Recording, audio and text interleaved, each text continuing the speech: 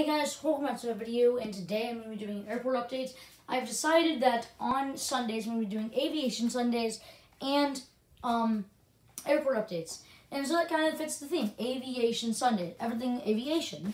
So um, this is an airport update for my new airport that I built, which is going to be a lot quicker to do airport updates, and it won't take so long, so you guys can do other stuff.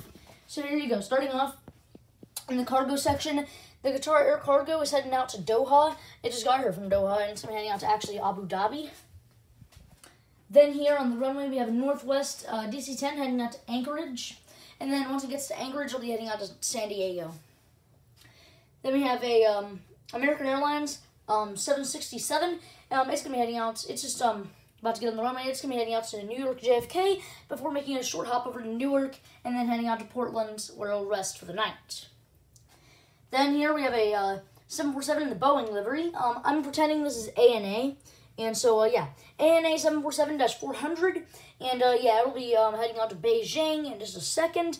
And um, then we'll make a short hop over to, um, I'll make a short hop over to, um, or I'll make a long flight over to, um, what's the name? London Heathrow. And then, uh, yeah, it'll just stay there for the night.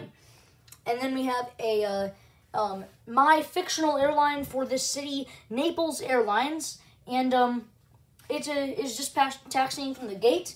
Um, it just got out of the gate and it's gonna be heading out to Naples Municipal Airport, and then um, we have con and then finally we have a Continental 767 that just got that just got here from a New York J from New York JFK, and uh, it'll be heading over to Newark to stay the night.